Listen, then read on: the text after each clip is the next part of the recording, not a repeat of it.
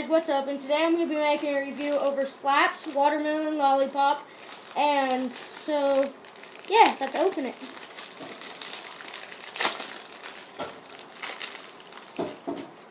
Okay, so they're individually wrapped. They're not like regular lollipops, they're bendable. Yeah. Okay, it's on like plastic. What? What is this? I don't know what this is. Look at that. It's like.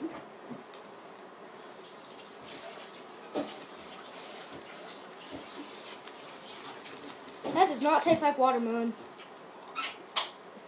Oh, my dad's in the background cooking, so.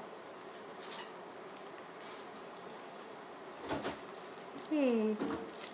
I don't know if I like that. I got ten of them. Making chicken wings. Really? I'm gonna try to eat it like a fruit by the foot. It's sticking to my teeth.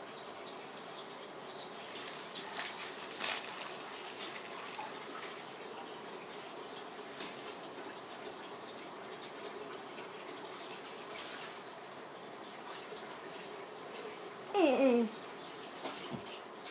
Yeah, I really don't rec recommend these. I just don't really like them. I was hoping they would stay on their stick a lot better, but like it's all sticky. No. Alright, so yeah, that's my video. And comment below what you want me to do next. I need ideas. That's why I didn't make a video last week. Hold on, I didn't get one. Okay, do you want to try one? Yeah, where's my slap popsicle? How do you open them? You peel the plastic. So See my if I dad, like them. my dad's about to try one. Oh, he got it. He got it off. Here comes Daddy trying to slapstick. I guess lollipop. That's what they call these slapstick lollipop, and this is the slap, and that's the stick.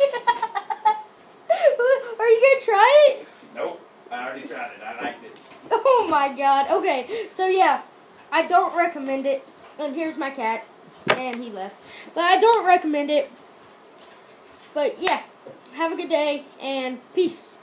Remember, like and subscribe.